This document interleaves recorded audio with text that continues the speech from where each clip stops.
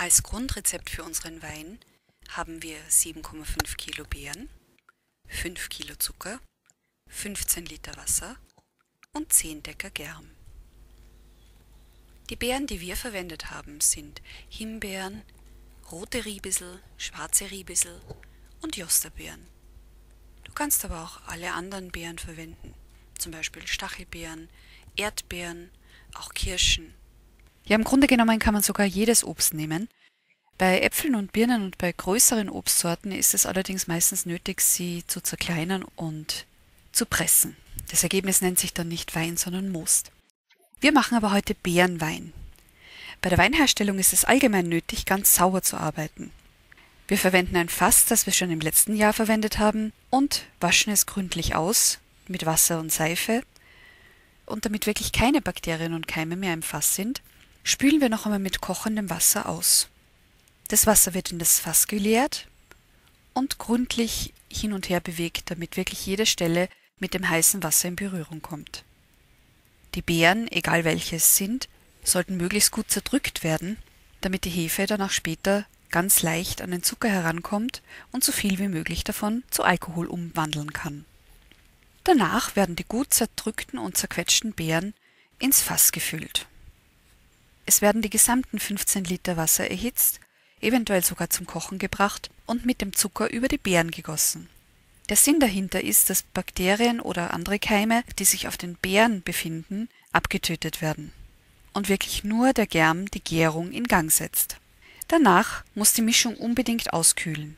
Sie darf nicht mehr als handwarm sein, sonst könnten auch die Hefepilze sterben und keine Gärung findet statt.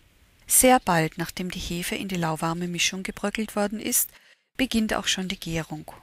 Du siehst es daran, dass sich erst Blasen bilden, später dann die Beeren nach oben steigen und sich schaumig aufwerfen.